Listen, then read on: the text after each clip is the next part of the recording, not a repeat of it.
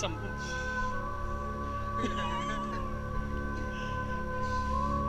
It's putting a spell on you.